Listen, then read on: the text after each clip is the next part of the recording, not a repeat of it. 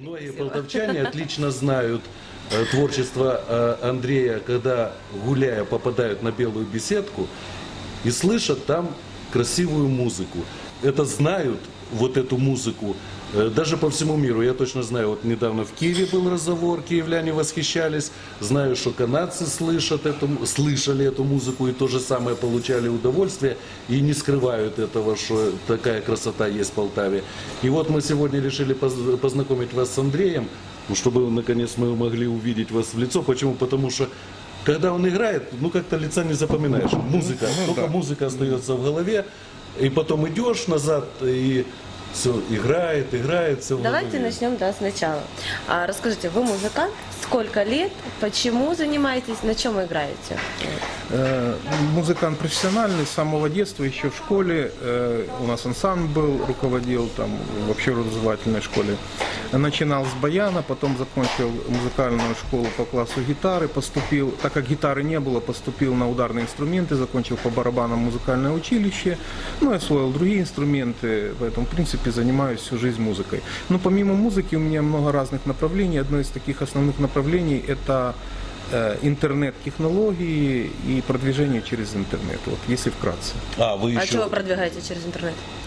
Ну, есть услуги э, и есть некоторая очень интересная группа товаров, с которыми я непосредственно сотрудничаю. Ага, менеджмент. Э, Ну, я занимаюсь разработкой сайтов и продвижением, э, то есть нахождением клиентов для, в принципе, для определенного рода бизнеса. Ну, Вот Давайте немножко вернемся сейчас к музыке. Да. Скажите, вы играете, насколько мне известно, губная гармошка, да, вот на белой беседе? Как это правильно У называется? нее три названия есть. Физгармоника, э, мелодика и пианика.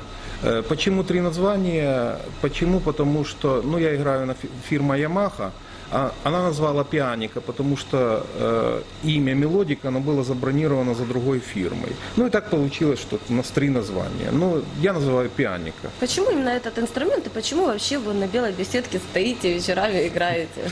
Ну почему инструмент? Вообще-то я на ксилофоне в последнее время играл. И 20 лет, больше 20 лет ездил по разным странам Европы. Меня попросили купить такой инструмент, э, пианику, да, фирмы Yamaha. Попробовал, она мне сразу понравилась. И когда я принес домой, вот, перед тем, как передать заказчику, я попробовал поиграть. Со мной как раз был друг гитарист, мы поиграли. Мне очень понравилось. И тогда я вышел, э, как бы сказать, испытать. Вышел на улицу, посмотреть реакцию. Реакция была очень хорошая, и я начал дальше работать на этом инструменте. Чем он хорош? Он универсальный, потому что на нем можно играть любую музыку. Он как и клавишный, так и духовой. То есть атака есть и все. И второе, э, по сравнению с барабанами, он очень легкий инструмент. Вы только на белой беседке играете? Либо еще по городу? Ну, иногда приглашают, иногда приглашают, но в основном э, летом, ну как, ну в основном, да, белая беседка. Это А приглашают, вы говорите, э, где-то на свадьбы, дни рождения, какие-то мероприятия? Мероприятия, да. Ну, Рамку не заказывают. Э, По поводу Мурки. Ну, во-первых, если говорить о белой беседке, там э, своеобразная публика, интеллигентная ходит. Но иногда попадаются э, разные, там, то такой отставник, который только вышел да, с тюрьмы, то еще что-нибудь. Они же, кроме шансона и Мурки, ничего не знают. Вот. И когда подходят, э, спрашивают, а сыграй там Мурку, ну, я, в принципе, знаю, что ответить. Я ему говорю, ты знаешь, Мурка это уже прошедший этап. Давай я тебе гимн Украины сыграю. Он, да, ну давай. И я играю гимн ему. И он Чтобы доволен. обойти бесконфликтно вот этот вот И он вопрос, да? доволен. Нет, тут же вопрос не в том. Тут же вопрос не в Мурке. А вопрос в том, что... Кроме нее еще что-то Нет, есть. э, вопрос в том, что ему хочется, чтобы кто-то его хоть понимал, чтобы кто-то ему хоть что-то сделал для него, потому что его в этой жизни не воспринимают как человека. А, Вот. чисто психологически. Чисто- вы Скажите, вы вот психолог. говорите, вы по миру покатались. По миру вы покатались как музыкант, либо же... э, Как музыкант. Именно музыкант. У вас была группа своя. И с группой мы ездили, и в основном сам работал. А что за группа? Ну, у нас было трио акустическое. Ну, группа как такое, мы, название было у нее «Маэстро», но она просуществовала буквально, наверное, полгода. Мы подготовили один концерт, сыграли в филармонии, это было лет 15 назад. Вот, выехали в Германию и там распались. Почему? Потому что она была не актуальна на то время. Вот И поэтому после работал... этого начали немножко покатались, да? Не, ну я работал сам всегда, а сам, то есть мне все равно с кем работать. Или вдвоем, или втроем, или А в какой группе. стране лучше всего вот вашу музыку воспринимают? воспринимают. Э, Но я рад, что на Украине начали уже воспринимать, э, потому что уже выросла молодежь, которая воспитана на интернете, а интернет все-таки воспитывает вкус, потому что у человека есть выбор. Выбор, да. Да, вот, поэтому, когда я вышел на белую беседку лет шесть назад попробовать, то ко мне сразу же подошла женщина, э, вот, и попросила, говорит, так хорошо, так приятно, э, вот. Единственное, я переживаю за то, что э, ваше место займут, будут тут другие музыканты играть. А я ей сразу успокоил, говорю, вы не переживайте, других музыкантов здесь не будет. Почему? Потому что это очень сложная работа, и нужно знать еще, как, что для публики давать. Поэтому вот такой э, был, можно сказать, начальный опыт положительный. Вот. И я увидел реакцию хорошую, и поэтому начал работать. Вот. То э, молодежь, в основном-то на белую беседку приходит молодежь, э, студенты, вот, они подходят, благодарят, приходят многие часто э, постоянно, часами сидят там. Почему? Потому что там, ну, они... пон- Там им- им- какая-то аура, и я Атмосфера. вам скажу, вы настолько гармонично э, в нее вписываетесь, что да, во, вот это слово, ненавязчиво, то есть Не, ну знаете, музыка такое просто разная впечатление, бывает. когда в воскресенье вечером приходишь туда и вас нету, уже, подожди, чего-то, что-то, колонны вроде у белой беседки все. А где, где музыка? Прихожу, народу мало. Начинаю играть, через 20 минут полная беседка. Ухожу, сразу все расходятся. Но это в последнее время так. Э, Вот. И я вижу, Ну вы только по теплу там, да? э, ну да, конечно, когда Ну, тут и плохая. горло надо беречь. Когда, когда плохое, плохая... Не, можно оно и когда холодно, но оно некомфортно. И людям некомфортно, и, и самому некомфортно работать. Скажите, были ли какие-то э, забавные случаи во время того, как вы играли на белой беседке? Вот что-то такое запомнилось? Я не знаю, может быть, кто-то предложение сделал, такой романтический случай. Либо же были разные. танцевали. не Были Танцуют очень часто. Вот Когда нравится, Как-то весело так. Э, То, что весело, это часто. Во-первых, э, если вы наберете в Ютьюбе Андрей Буторнин «Белая беседка» или «Музыка», вы попадете, у меня есть там специальная страничка, где я выкладываю видеоролики. Видеоролики я иногда записываю. То э, очень э, показательно, как танцует молодежь. Я имею в виду молодежь современная, та, которая годик, полтора, два, три. Вот это молодежь. И они собираются вечером, я иногда включаю цветомузыку. Да, я видел. Вот. И там, конечно, шикарно, что они творят, выплясывают. Говорят, родители, мы, говорит, такого не видели. Со своим ребенком мы не наблюдали. Они там просто расслабляются.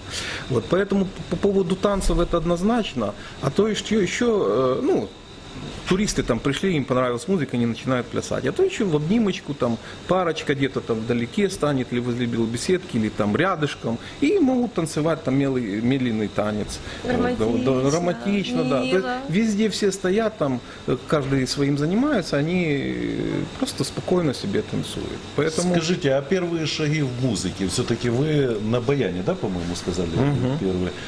Э, вот э, давайте вспомните детство. Все-таки было какое-то насилие э, в обучении? э, С подпалки вас родители гнали? С подпалки? Иди учись на баяне. Было такое нежелание, как мне На это надоело, не хочу, будет. не пойду. Было? Э, Значит, у меня такого не было, у меня совершенно другая была ситуация, но вопрос в другом. Это касается как раз этой темы. Просто у меня дома баян был, вот, ну, дядя играл на нем, баян хороший, братьев Грим, немецкий. да. Вот. И у меня одноклассник, он ходил на баян и приходил ко мне и он что-то показывал. И мне что-то понравилось. И я по своему учителю сам уже начал что-то там выучивать. Сам учитель был тогда дома. И когда, а тогда же прослушивание было серьезное, тогда мы с дедулей ходили, то там э, на, на всю область у нас было в- отдельном месте, приходили, я не знаю, вы знаете или нет, вот, приходили туда, специально был отбор, прослушивали ритм, там слух. Дедуля еще удивлялся, как тебе нажимают, сколько клавиш, ты сразу говоришь, сколько клавиш, ну, отворачиваешься и все. То есть слух, э, когда проверили, тогда направили в музыкальную школу. Вот. А в музыкальной школе баян был очень тяжелый. Он малой я был, 8 лет, его тягать постоянно. Вот. Э, Получалось, в принципе, неплохо, хорошо. Но методика обучения и репертуар, который советский в то время, я еще малой был, но уже как-то подспудно понимал, вот, он мне не нравился. Поэтому я проучился год и бросил. Преподаватель очень долго ходил за дедом, упрашивал, чтобы я вернулся в музыкальную школу. Я сказал однозначно нет, и все. И спустя несколько лет, потом уже, когда я увидел, как на гитаре играют, мне понравился, и я уже начал заниматься гитарой. Так что такого напряга не было. Скажите, вот сейчас уже потеплело, вроде, ну, почти потеплело. А, но уже вы начали опять выходить на белую беседку, вас опять можно увидеть. Когда вас можно увидеть? В принципе, более выходные, да, дни? Суббота, воскресенье, если жарко летом после 7 вечера, если прохладная погода, ну там осень, э, Либо то, э, то днем часов с двух. Ну, такая обычная схема. Иногда в среду выхожу. В среду в основном вечером студенты там. Иногда в пятницу. Ну, больше всего суббота-воскресенье. Ну что, в принципе, да, вы... Если хотите, Наслаждайтесь. независимо от погоды, независимо от поры года, услышать приятную, красивую музыку на личную страницу в YouTube, да, Андрей, э, там Либо же на белую всё. беседку, пока Либо на выходных на белую беседку. Знаешь, мне вот как-то так вспомнилось, сидела, слушала вас на улиці, там дождик моросит, и а, нехай проблеми там згоди не роблять вам в житті погоди. Да, тоже. Приходите на белую беседку даже, ну, нет, под дождь, я думаю, вы не будете там. Под дождь у меня даже есть фотография, когда подошел, равно, да, э, играете? подошел ко мне один, э, можно сказать, это клиент, частенько приходит, начался дождь, он поднял зонтик, сидел рядышком и Держал фотографию- зонтик. держал зонтик, а я играл. Ради того, чтобы вы остались на месте. Да, да, да. Так было Вот, интересно. всем хорошего дня и настроения. Всем доброго утра, хорошей музыки в течение дня. Всем пока-пока. Замечательных выходных.